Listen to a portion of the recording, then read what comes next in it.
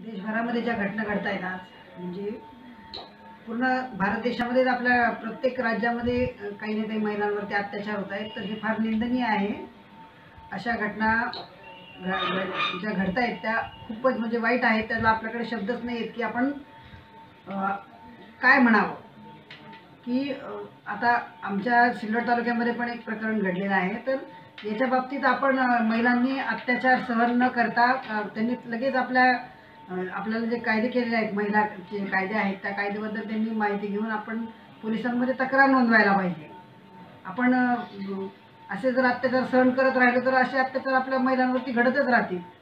तर महिलांनी जागरूक होऊन या अत्याचाराबद्दल निषेध नोंदवला पाहिजे. मी ही मला हे फार म्हणजे काय म्हणावं त्याला आता त्याला शब्दच नाही आहे हे असं घडायला नाही पाहिजे.